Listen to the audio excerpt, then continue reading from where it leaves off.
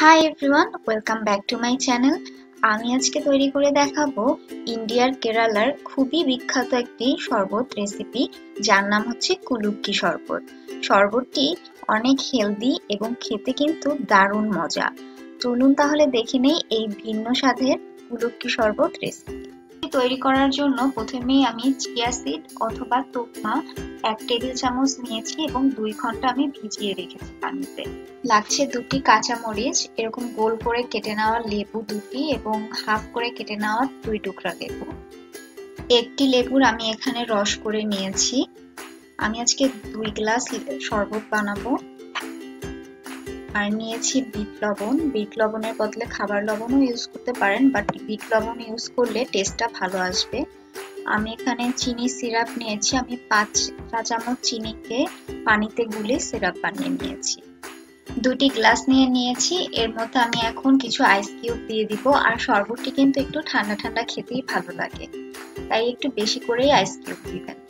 দিয়ে দিচ্ছি chia সিডগুলো chia seed কিন্তু ভিজানোর পরে অনেকখানি ফুলে ওঠে এবং পরিমাণেও বেশি হয়ে যায়। তো সেই বুঝে আপনারা সবকিছু এখানে ব্যবহার করবেন। আমি এখানে যা যাই ব্যবহার করেছি না কেন, আপনাদের টেস্ট অনুযায়ী কিন্তু অ্যাডজাস্ট করে নেবেন। এখন দিয়ে দিচ্ছি লেবুর রস। শরবতটা কিন্তু বেশি স্ট্রং ফ্লেভার হবে না, একদমই সবকিছুর একটা লাইট ফ্লেভার পাবেন আপনারা। আর ইফতারিতে রোজা খুলে কিন্তু এই শরবতটা খেতে খুবই ভালো লাগে। স্বাদ অনুযায়ী চিনি সিরাপ দিয়ে দিচ্ছি। আপনারা চাইলে র সুগারও ইউজ করতে পারেন, কিন্তু চিনি সিরাপ ইউজ করলে শরবতটি গুলতে একটু সুবিধা হয়। কাঁচামরিচ আমি একটু মাঝখান থেকে এভাবে ফালি করে দিয়ে দিচ্ছি। এতে করে বেশি ঝাল বের হবে না, হালকা একটা ঝাল ঝাল ফ্লেভার আসবে। এখন পর্যাপ্ত পরিমাণ পানি দিয়ে দিচ্ছি। স্বাদ অনুযায়ী বিট লবণ ছিটিয়ে দিচ্ছি উপর দিয়ে।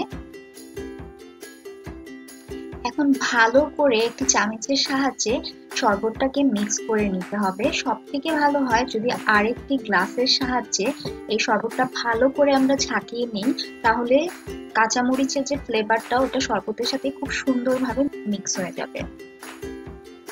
তৈরি হয়ে গেল খুবই হেলদি এবং রিফ্রেশিং একটি ড্রিঙ্কস কুলুক্কি শরবত। চিয়া সিড অথবা তোপমা কিন্তু আমরা রোজায় কম বেশি সবাই খেয়ে থাকি। অবশ্যই বাসায় এই রেসিপিটি ট্রাই করে দেখবেন।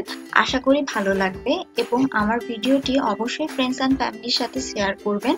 আর চ্যানেলটি সাবস্ক্রাইব না করে থাকলে এখনই সাবস্ক্রাইব করে নেবেন। আজকের মতন এখানেই বিদায় নিচ্ছি।